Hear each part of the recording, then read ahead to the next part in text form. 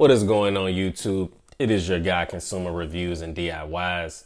We're back in the building with another video and today we have the Nike Overbreak in the 11 and a half retail price of $140. You guys see the size tag right there. So let's go into the shoe.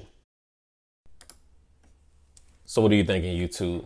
Is this an easy pass or is this one that you think is good for picking up?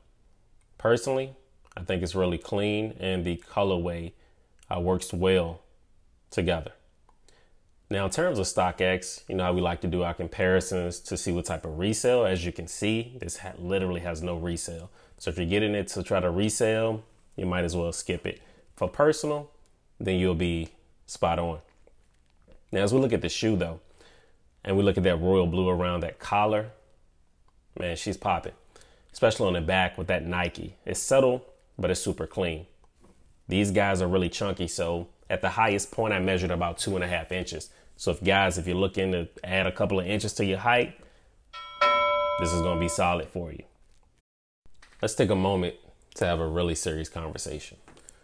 That conversation is gonna involve these shoes becoming filthy in a very short amount of time.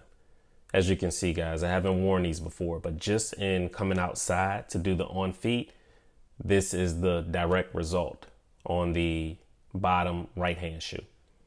Doesn't take long at all for these guys to get dirty. So if you do plan on getting a pair of shoes with a white sole that's this thick, have you a solid strategy for keeping these guys clean.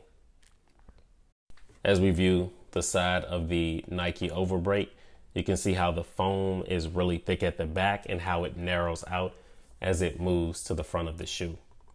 Also protruding from the foam are little designs, which really provide some personality uh, to this shoe.